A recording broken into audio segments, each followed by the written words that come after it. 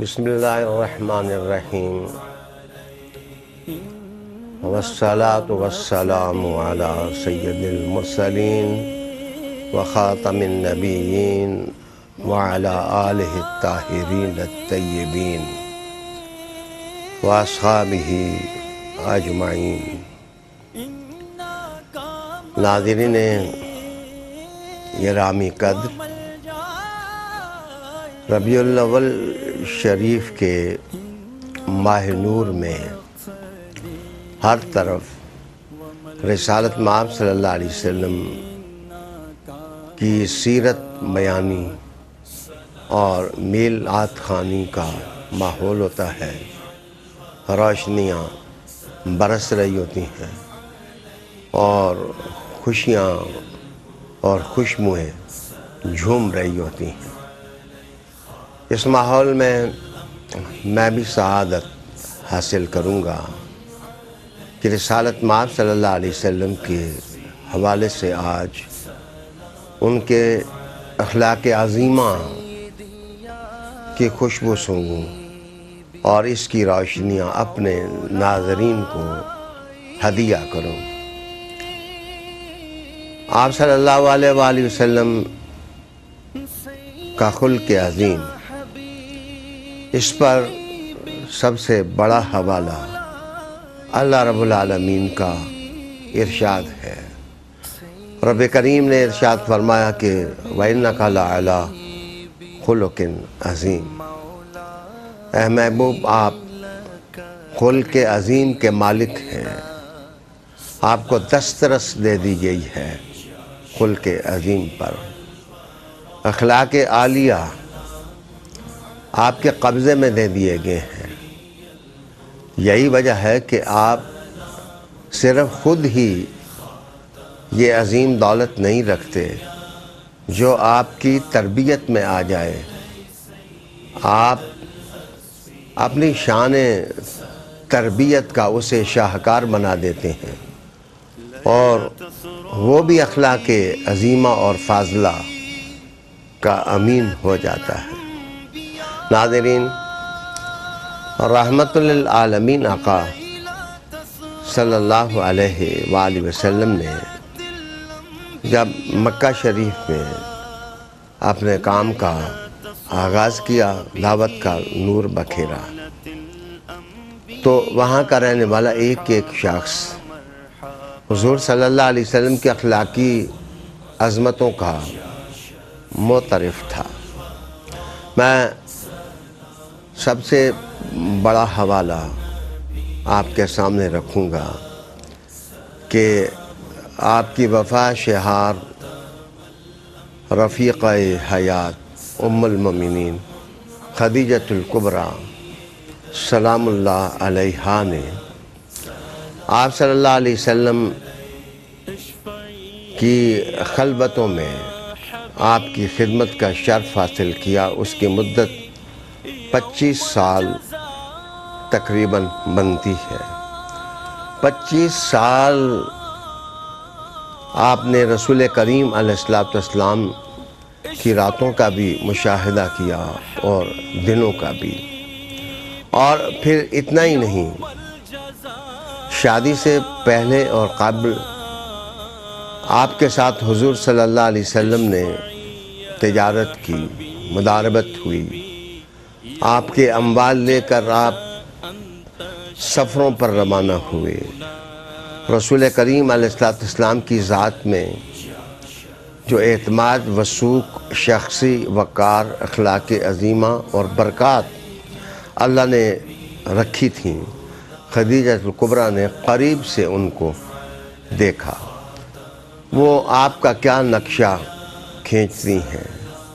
उनकी ज़ात की कैसी तस्वीर उम्मिन की ज़बान से सादिर होती है।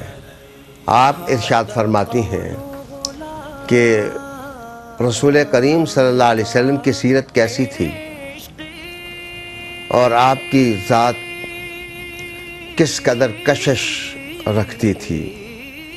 इंसानी सतह पर उसका जायज़ा लेते हुए वो इरशाद फरमाती हैं कि आप सल्लल्लाहु अलैहि वसल्लम को मैंने देखा कि आप में सिला रहमी थी।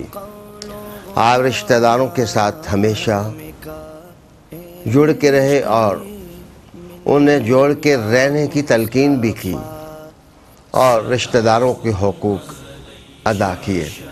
दूसरी सिफ्त और खसलत जो रसूल करीम सल्ला वसम के अंदर थी मकरूज़ का बोझ दूर करने के लिए रसालत माब वसल्लम सबा व मसा कोशिश में रहते।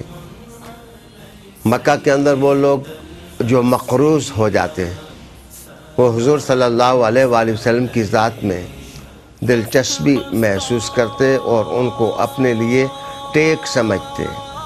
वो बड़ी उम्मीदें वाबस्ता कर लेते और रिसालत सल्लल्लाहु अलैहि वसल्लम के साथ। तीसरी चीज़, रसूल करीम अलैहिस्सलाम का शौक़ था कि जिस वक्त सोसाइटी के अंदर किसी घर या किसी खेमे या किसी पहाड़ी चट्टान के नीचे महसूस करते कि कोई मोहताज आदमी है और वो उसमें मअतल की तरह ज़िंदगी बसर कर रहा है। तो हजूर अलैहिस्सलाम उसके लिए कमाई करते और उसका घर पूरा करने की कोशिश करते उमलमिन फरमाती हैं कि ये तीसरी चीज़ मैंने रसालत में आप अलैहि वसल्लम में देखी। फिर वो कहती हैं कि मेहमान नवाजी मेहमान नवाजी, आप अलैहि वसल्लम की एक खसलत हमीदा थी। हज़रत इब्राहीम अलैहिस्सलाम की पेशवाई से कारण दर कारण ये चीज़ मुंतकिल हुई अरबों में। आम अरब भी मेहमान नवाज़ होते, लेकिन जो नबियों का भी इमाम है और ख़ातमनबीन है, उसके अंदर ये सिफ्त किस कदर आली होगी? और मैं ये बताता चलूँ कि खदीजतुल्कुबरा जनाब मक्का की वो मुतमल ख़ातून थी कि सारे मक्का वालों का माल एक तरफ़ और खदीजतुल्कुबरा का माल एक तरफ़। वो सोसाइटी को जानती थी। वो लोगों को पहचानती थी। उनमें इंसान शनासी का जौहर था। वह कहती वह कहती हैं कि हज़रत मोहम्मद सल्लल्लाहु अलैहि वसल्लम मेहमान नवाज़ थे। फिर आप सल्लल्लाहु अलैहि वसल्लम के बारे में वो फरमाती हैं कि लोगों की मदद करना और मजबूरों की मदद करना। ये हज़रत मोहम्मद सल्लल्लाहु अलैहि वसल्लम की सीरत के सूरज की एक किरण थी। नाजरीन के राम ये बात चल निकली कि हज़रत खदीजतुल्कुबरा 25 साल रसूल करीम अलैहिस्सलाम के साथ रहीं। तो उन्होंने हुजूर सल्लल्लाहु अलैहि वसल्लम का शख्सी खाका लोगों के सामने पेश किया कि सिवाय इस हुसन और इस खसलत अजीमा के मैंने कोई दूसरी बात हज़रत मोहम्मद सल्लल्लाहु अलैहि वसल्लम में ना देखी। एक हदीस में और भी ये बात आई कि रसोल्लाम के से किसी का अखलाक बड़ा हुआ नहीं था। अरब अजम दुश्मन दोस्त सब तस्लीम करते थे कि हज़रत मोहम्मद सल्लल्लाहु अलैहि वसल्लम जैसा इखलाक वाला कोई नहीं है। साहिब सीरत कोई नहीं है। साहिब सूरत कोई नहीं है। साहिब अता कोई नहीं है। साहिब एता कोई कोई नहीं है। तो आपकी ज़ात में जो मोहब्बत थी लेकर देना, अल्लाह ताला ने इसको इतना सखी कर दिया था कि सारा अरब रसूल करीम वसल्लम के दरवाज़े का दरयूज़ा गर नज़र आता है। इसी बात को मैं आगे बढ़ाऊँ कि आप सल्लल्लाहु अलैहि वसल्लम के घर में खदीजतुल्कुबरा के बाद उम्मुल आयशा सिद्दीक़ा रदी अल्लाह तहा है। दस साल आप रसूल करीम अलैहिस्सलाम के साथ रहीं। और पहला नक्शा तो 25 साल की तस्वीर बताना था। 10 साल जो प्यार पाया उमुल मोमिनीन ने रसूल करीम सल्लल्लाहु अलैहि वसल्लम का। वो तारीख़ में यकता है। हज़रत से जब किसी ने पूछा कि रसूल करीम अलैहि वसल्लम के अखलाक फ़ाजिला की कोई बात आप सुनाएँ तो उमुल मोमिनीन ने जो जवाब दिया, सुनहरी हरूफ के साथ लिखने के काबिल है और ये इतना मतबर हवाला है कि गली गली चमन चमन समन समन जब हुजूर की मीलाद की महफिलें सजती हैं तो आयशा सिद्दीक़ा के इस कौल का हवाला दिया जाता है। आपने फरमाया, कान खुलकू अलकुरान हज़रत मोहम्मद सल्लल्लाहु अलैहि वसल्लम का अखलाक और खुलक, वो कुरान था। यानी अलहम से वन नास तक जो आमाल की दावत है, जो हसाइल हमीदा बयान हुए हैं।